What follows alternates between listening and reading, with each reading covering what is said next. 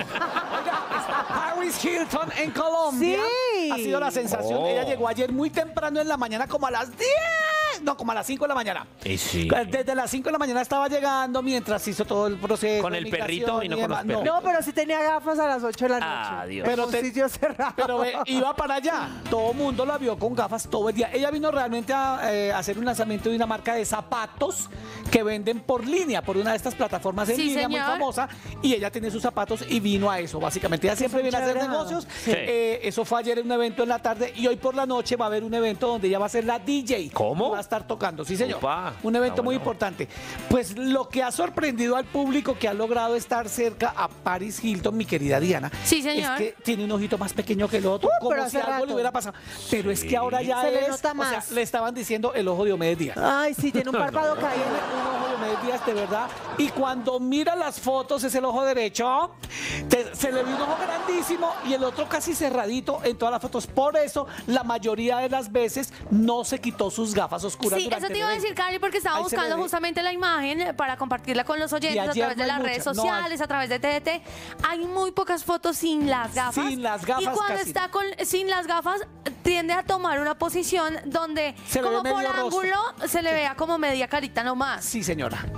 Pero, es Pero esta muy mujer sí debe evidente. tener toda la plata del mundo una para hacerse. muy- No, no. Eh, Diana, eso es. ¿Hay eh, levantamiento de ojo? No, no, no. Eso, eso no se puede solucionar con ningún tipo de cirugía y tampoco con maquillaje. ¿No? Eso nace Ay, aquí así. tenemos una foto la que se tomó con, Con John, John, nuestro compañero. con John Álvarez. Ya, Oh, mándasela John. a Diana, mándasela a Diana para que la pongas, porque ahí sí es muy evidente Se le nuestro nota compañero John bastante. Álvarez de la red, que ha venido algunos días, acá algunos jueves, a estar con ustedes eh, cuando yo tengo que salir de alguna cosa. Sí. Busca el Instagram, bueno, John. Ya lo busco. Ya te lo Eh, mando, Diana, para fíjate que la que, veas. él se hizo una selfie porque obviamente fue a cubrir el evento para el canal Caracol y ahí sí se alcanza a notar un ojo muy abierto y el otro prácticamente cerrado. Pero es bastante fuerte la imagen y es lo que más ha Es sorprendido. Eso sí ha estado queridísima, a tomar- accesible a todo el Ella mundo, muy a querida. todos los medios, sí. Es muy Eso sí, cercana. muy cercana a la gente y eso ha sido lo máximo.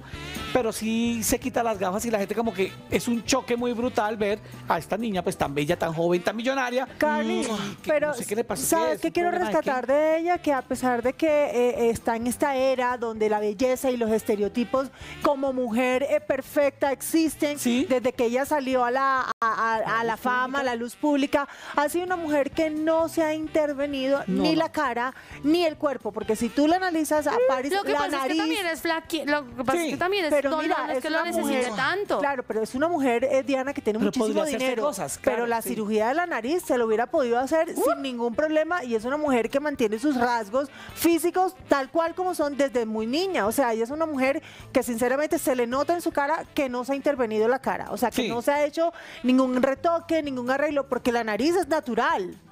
Y si tú miras el ojito, Sí, no, pues, de, claro. de- de- con toda la plata que tienes y si hubiera podido hacer un par de, Sí, de pero cosas es una mujer ahí. que está como que muy alejada de todo ese tema estético, aunque la vemos todo el tiempo producida, súper bien maquillada, siempre con sus gafas, siempre a la moda, siempre es tendencia.